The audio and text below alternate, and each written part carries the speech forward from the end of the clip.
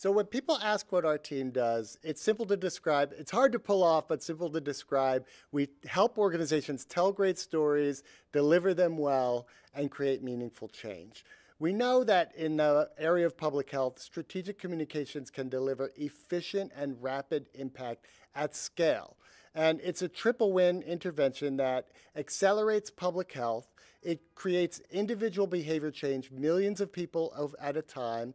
It can shape culture that helps shape how people perceive health issues, and it creates demands for new policies that can protect people in the future. In fact, in a campaign in India where we were supporting people to quit chewing or quit smoking tobacco, we prompted millions of quit attempts at just seven cents per quit attempt using media as an intervention. It's really hard to imagine a more efficient public health intervention than that.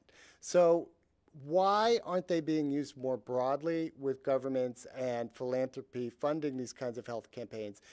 In fact, we saw in a recent WHO report called the GATS report that looks at media campaigns across countries being used in the tobacco control area. We saw the lowest level of investment in campaigns since they started measuring more than a decade ago. First of all, many public health programs think about individual behaviors and services and don't start by thinking about communication interventions that work at scale. It's just not seen as a standalone intervention, and that's one reason why it's underinvested. And we think lots of actors should, should look at it again.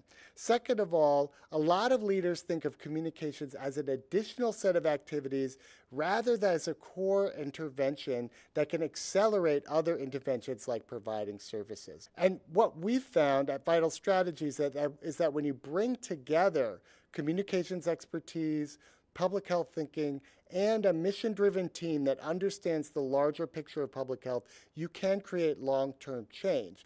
And one of the great changes we've seen is that when you mount campaigns with governments and civil society, you also build the expertise for them to mount them on their own. So when you leave an environment or leave a context, that activity keeps going.